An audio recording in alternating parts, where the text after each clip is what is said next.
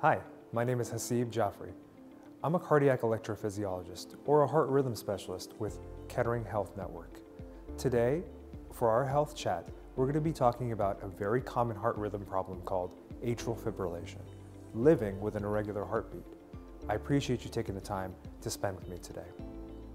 We're going to first start by reviewing what the normal heart electrical system looks like. Then we're going to talk about a little bit what is atrial fibrillation. Once we have an understanding of what atrial fibrillation is, we'll talk about why it's so important to treat it in all aspects of it. Then we will review how we as cardiologists classify AFib, what symptoms you might feel if you have atrial fibrillation, how do we diagnose it, and what are the risk factors. And lastly, but most importantly, how do we treat it? So again, let's start by reviewing the normal cardiac conduction system. So this is a schematic of what a normal cardiac conduction system would look like. Imagine you're standing in front of somebody and this is their heart cut in half. You can see the electrical system starting in the top right chamber in our God-given pacemaker called the sinus node. That originates electrical activity 60 to 100 times a minute every single minute of your life. That electrical activity then makes its way down to the middle part of the heart called the AV node, where it pauses momentarily and goes down to both the right and left sides of the heart. This is important because as the electricity passes, it allows the heart to beat. So again, just like your car, the battery helps the engine to go. This is the electrical activity, the battery to your heart. So now that we have an understanding of what normal rhythm is, now I'd like to transition and explain to you what atrial fibrillation is in very basic terms. And again, in this image, you can see in the top left chamber, a normal sinus rhythm originating in our God-given pacemaker, going down to the middle part of the heart, then down to both sides. These are nice, normal, coordinated, regular contractions. When somebody has atrial fibrillation, as you can see on the right slide, the God-given pacemaker, the sinus node, goes to sleep. And with atrial fibrillation, you get a chaotic, disorganized eruption of electrical activity from the top left chamber of the heart. And in fact, that chamber starts to contract or try to contract four to 600 times per minute because the electrical activity is just that fast. Luckily for us, not all of those electrical impulses make it down to the bottom chambers of the heart. Instead, what happens, you may get anywhere between 100 to 200 of those impulses that make it down. So you as a patient may feel palpitations, you may feel a fast, chaotic, disorganized heart rhythm, and that's what atrial fibrillation is. So again, this is just another schematic of the heart. Let me take you through the different panels of this. Panel A is similar to what I just showed you on the last slide. This is us looking from the front to the back on another human being, uh, what the heart looks like cut in half. If you were to take that from image A all the way through image E, imagine turning the heart around. So now we are focused squarely on the top left chamber of the heart, looking from the back to the front. And what you can see is there are four tubes coming into the top left chamber of the heart. These tubes are called pulmonary veins, or essentially vessels that come from the lungs that bring oxygenated blood back to the heart.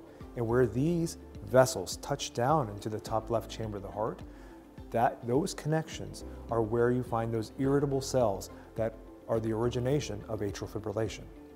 The image on the right is a 3D electroanatomic map that we make during a procedure called an ablation of your specific heart so that we can tell how many veins you have and what they look like. Generally, everybody has four veins, two from the right lung, two from the left lung, but everybody's anatomy is slightly different. So when you do have a procedure, or if you have a procedure called an ablation, your physician will be able to map, up your, map out your anatomy exactly. A little bit more about atrial fibrillation. The reason also why it's so important is because it is the most common arrhythmia in the world. About 5 million people in our country have it, and over 35 million people around the world have it. Whether you're a man or a woman, your risk of developing atrial fibrillation throughout your lifetime is about 25%. The other important thing to remember about atrial fibrillation is it's a disease of aging. Unfortunately, as you age, the risk for atrial fibrillation goes up. 1 in 25 people over the age of 60 have atrial fibrillation, and 1 in 10 people over the age of 80 have atrial fibrillation. So now that we've talked a little bit about what normal rhythm is, what atrial fibrillation is, let's talk about why atrial fibrillation is so very important to treat. One of the most important reasons is it increases the risk for stroke. If you remember, I said that the top left chamber of the heart tries to beat four to 600 times per minute. And that's physically impossible. Our hearts luckily cannot beat that fast. So rather than beating that rapidly, your heart just goes to standstill and it quivers. And so blood does not move around effectively. And if blood does not move effectively and stays in one place for too long, it can start to form blood clots. And unfortunately, as you can see in this image, those blood clots can go from the heart out to the brain and cause a stroke. In fact, people who have atrial fibrillation have a five times higher risk of having a stroke. And also, those strokes are usually more severe. In addition to the risk of stroke, there's an increased risk for something called congestive heart failure. When somebody has atrial fibrillation, imagine your heart is beating 120 to 150 beats per minute every minute for weeks on end. During this process, you have to remember your heart's a muscle like anything else. If you continue to beat that quickly for that long, your heart is going to weaken over time. And instead of moving the fluid and blood forward to all your organs, that blood starts to move back into your lungs and you start to get short of breath. That's called congestive heart failure. Additionally, having atrial fibrillation has shown to increase the number of hospitalizations and the amount of cost on our healthcare system. So in addition to being a morbid problem for patients, it's a big problem for our healthcare system. Now that we've talked about why it's important to treat it, let's take a minute and talk about how electrophysiologists or heart rhythm specialists view atrial fibrillation. You may have heard from your physician the following terms, paroxysmal, persistent, long-standing persistent, or permanent. And they apply those to atrial fibrillation. And all I want you to know is those are usually designating units of time. Paroxysmal, all that means is somebody who has atrial fibrillation that comes and goes and lasts usually less than 48 hours at a time. If you have persistent atrial fibrillation, what that generally designates is that you have had atrial fibrillation for longer than a week, or you need a procedure called a cardioversion or a shock to get you out of atrial fibrillation. Long-standing persistent atrial fibrillation is someone who has atrial fibrillation for greater than a year. And finally, permanent atrial fibrillation is someone who has spoken to their physician, they've gone through all the treatment options, and along with their physician have decided that they're just going to stay in atrial fibrillation for the rest of their lives. So based on these different classifications, what I want you to know is the longer you have atrial fibrillation, the harder it is to get you out of atrial fibrillation. So the mantra, atrial fibrillation begets atrial fibrillation, is very important. What are the typical symptoms patients get when they have AFib? A lot of my patients will tell me they'll feel uh, fish flopping around in their chest, or they will feel drums pounding in their chest. These are all very common. However, the most common symptoms when somebody has atrial fibrillation are the palpitations we just described, dyspnea or shortness of breath, chest discomfort, or fatigue. I'll tell you in my own practice, the majority of patients who come to me for treatment of atrial fibrillation will tell me that the fatigue is their worst symptom. Now that we've talked a little bit about symptoms about atrial fibrillation, how do physicians diagnose it? What you can see on your screen here is a 12-lead electrocardiogram, or an EKG. And this is a six-second snapshot in time where you're at your physician's office or in the emergency room where they're able to look at the electrical activity within the heart and this shows somebody who has atrial fibrillation at a rapid heart rate. However, what happens if you go to your physician's office, you've been feeling palpitations, they get an EKG, and it shows normal rhythm. How can we diagnose it then? As you can see here, there are multiple other ways to monitor for and diagnose atrial fibrillation. There are Holter monitors that you can wear for 24 to 48 hours from your doctor's office or the emergency room that allow for diagnosis of atrial fibrillation, especially if it comes and goes. If you have atrial fibrillation that is less frequent, your doctor may prescribe something called an event monitor. They can wear up to 30 days. If that's not an option that you like, there are other higher technological options that are out there. There is a KardiaMobile or a Kardia device that you can pair with your phone and you can take it whenever you have symptoms. Additionally, Apple Watches have the ability to detect atrial fibrillation that comes and goes, and these are usually higher generation Apple Watches. Also, generation 4 and above, you're able to take your own ECG and make a PDF and send it to your physician for review if you feel like you are having palpitations. So that way you have it at the ready whenever you need it. So now that we talked a little bit about what atrial fibrillation is, we understand what the symptoms are, let's talk about what are the risk factors. How do we really nail down how to treat atrial fibrillation? When I look at risk factors, I separate them into two general categories as modifiable and non-modifiable, meaning risk factors you can do something about and others you just really can't. The ones you can't really modify are your age, your genetics, your history of heart disease. Those are all things that play a vital role in AFib. Age is probably the most. But the ones we can really concentrate on will hopefully help make your atrial fibrillation a lot more manageable. What are those? They include sleep apnea, obesity, alcohol intake, and stress, whether it's internal stress from infection, like a pneumonia or urinary tract infection, or external stress that we experience as humans every single day. So let's start by talking about sleep apnea. Every patient that comes to see me, I always discuss this with them first. Whether they are overweight or whether they are normal weight, I always recommend that they get a sleep study, especially because if you have sleep apnea by itself, and you don't have AFib, your risk of developing atrial fibrillation in your lifetime is three times higher than the general population. In addition to that, if you have atrial fibrillation and you've been on medications and you've had an ablation and you have sleep apnea that's not treated, the likelihood that you'll get atrial fibrillation again, despite going through an invasive cardiovascular procedure, being on medications, is 50%. So in order to truly get as close to a cure for AFib as possible, we have to treat these risk factors, and the top of that list is sleep apnea. In addition, obesity plays a critical role in the propagation of AFib. As you can see in the heat map, the map on the right basically shows obesity trends within the United States. The areas that have the highest rates of obesity also have the highest rates of atrial fibrillation hospitalization.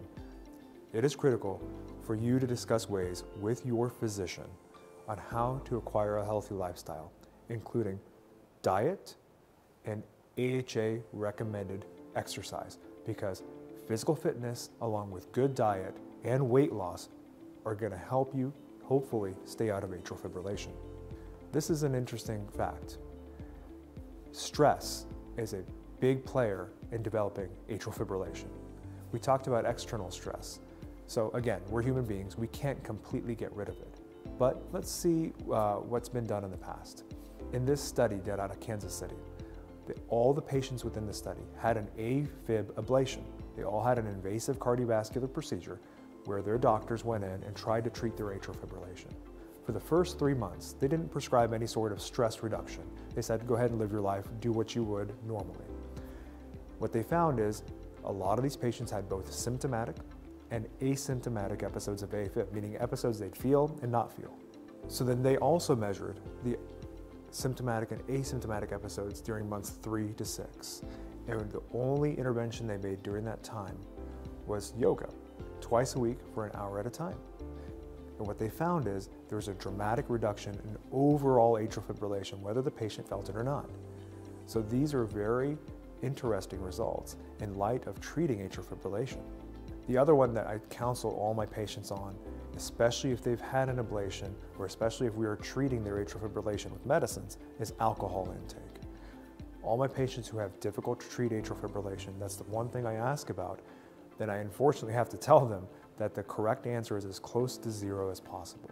The more you drink, if you have atrial fibrillation, the harder it's going to be to control it long term. We've talked about risk factors, we talked about symptoms, we talked about diagnosis.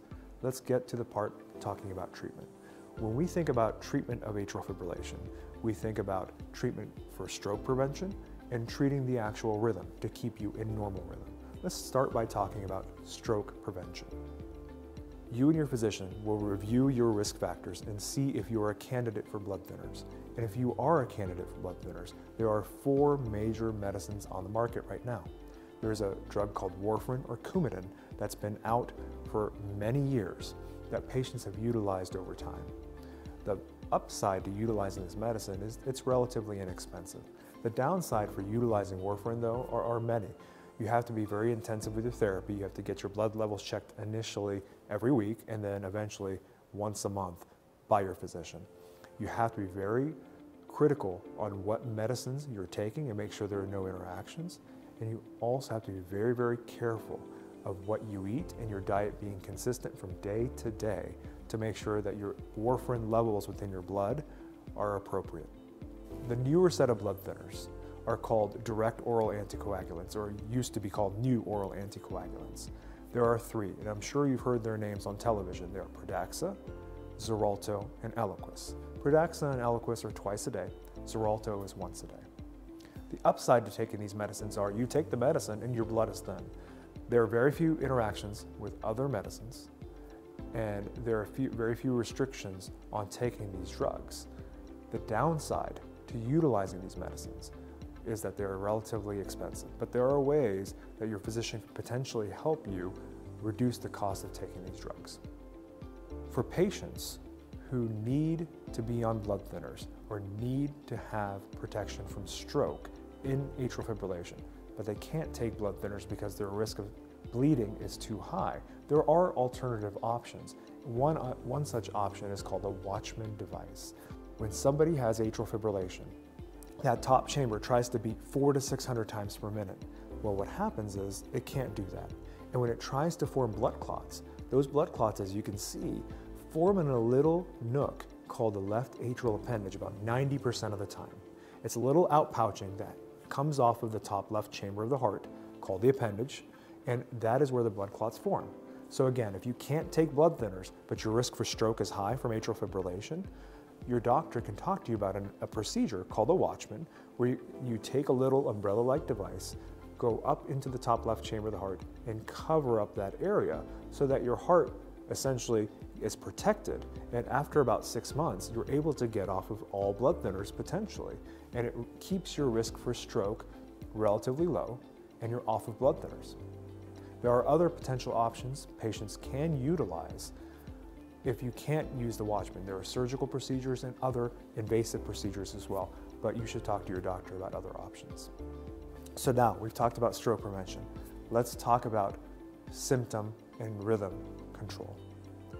In this slide, we're talking about rate control. These are great medicines. I'm sure you guys have heard of some of these medicines. The classes are beta blockers, calcium channel blockers, and digoxin. Some very common drugs are toprol XL or metoprolol or cardizem or diltiazem. These drugs are not meant to bring you back to normal rhythm.